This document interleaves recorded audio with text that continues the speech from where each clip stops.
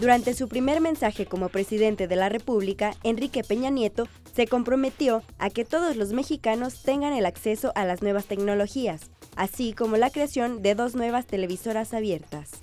En los próximos días enviaré una iniciativa para reconocer en la Constitución el derecho de acceso a la banda ancha y un conjunto de reformas para generar mayor competencia en telefonía servicios de datos, televisión y radio.